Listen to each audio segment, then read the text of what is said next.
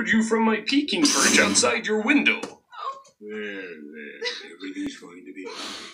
Now I'm sure you were going to take a shower or something, so why don't you get to that?